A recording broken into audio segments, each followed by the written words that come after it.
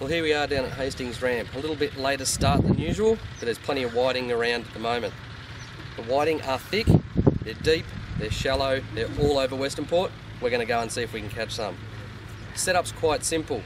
2500 series reel, 2 to 4 kilo rod, this one's a Wilson Texelium, and then of course our rig, in my case, a Paternoster rig, circle hooks, a little bit of flashing, and of course some bait on there, sinker on the bottom, suspended straight over the top of the weed in a burley trail, and hopefully we catch some good fish. I'm fishing with Matt Cini from Reeltime Charters. As I said, it is just the start of the whiting season. He's been going gangbusters and catching quite a lot of fish. Hopefully there's some big ones around. I hope you enjoy. I'm getting out there.